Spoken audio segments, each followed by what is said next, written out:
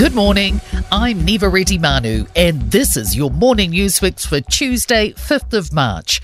In this update, the plan to hike vehicle registration fees by $50 over the next two years to help pay for the government's draft transport plan is being labelled fair and reasonable. The $21 billion policy includes 15 roads of national significance and a $500 million pothole prevention fund. Transport Minister Simeon Brown says the fee hasn't increased since 1994.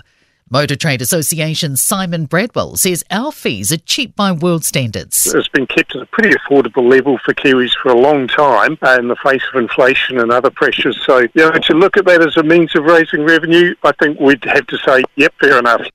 But cycling advocates are slamming the government's proposals. Cycling Action Network spokesman Patrick Morgan says this plan is the worst transport plan they've ever seen. He says governments all around the world are investing in walking, cycling, and public transport. But Morgan says this government is doing the opposite, squandering billions of dollars we don't have on highways that only make our problems worse. The Prime Minister is flying to Melbourne today to meet with Southeast Asian leaders. Christopher Luxon has been invited to a special summit held by Australia to mark its 50 year relationship with the Association of Southeast Asian Nations. Political reporter Demelza Jackson is with the delegation. It will be a whirlwind day of talks for Luxon, who is due to meet one on one with eight of his ASEAN counterparts, many for the first time.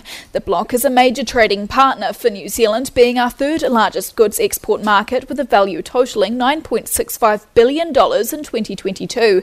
The trip is also a chance for Luxon to speak with Trans Tasman business leaders to hear how they're faring. Luxon returns tomorrow. Former prison guard David Benbow will be sentenced in the High Court at Christchurch today for the killing of his childhood friend. Christchurch builder Michael McGrath was last seen at his Halswell home in May 2017. Benbow was charged with his murder two years later and found guilty in October 2023.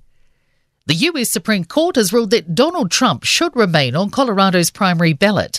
It's rejecting a challenge to his eligibility for another term that could have upended the presidential race by taking him off ballots around the nation. The justices have offered different reasons, but the decision was unanimous. On his social media platform after the ruling, Trump wrote, Big win for America. Weather conditions should ease today, but you might want to wear some extra layers. Many parts of both islands were battered by gale force winds and heavy rain yesterday. Met Service meteorologist Claire O'Connor says temperatures are set to plummet, particularly in the south. In sport, the Breakers Australian Basketball League season has come to an end, beaten 88 85 by the Hawks in Illawarra.